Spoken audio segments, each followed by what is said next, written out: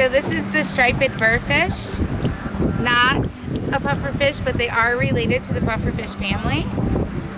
And they don't really hurt too bad. You can catch them when you're scalloping too. They swim really slow.